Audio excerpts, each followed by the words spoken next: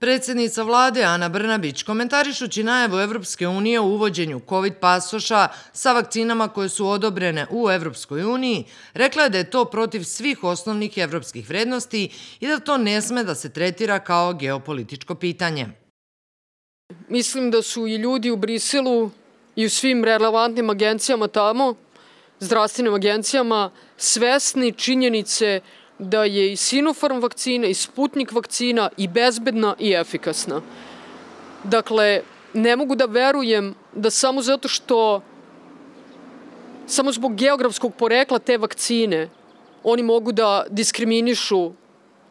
sve one ljude koji su tu vakcinu primili. Dakle, ja zaista ne mogu da verujem i ne, zaista ne verujem da će, da će se doneti takva odluka kao zvanična odluka Evropske unije, ali ako bude tako, Srbija će prvo ostati otvorena, imaćemo mi neke koristi od toga, ekonomske pre svega,